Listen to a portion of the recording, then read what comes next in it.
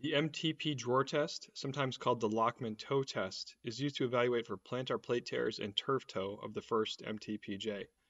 The examiner grasps the metatarsal head with one hand and the proximal phalanx with the other, and they attempt to dislocate the proximal phalanx dorsally. The positive test is reproduction of the patient's pain.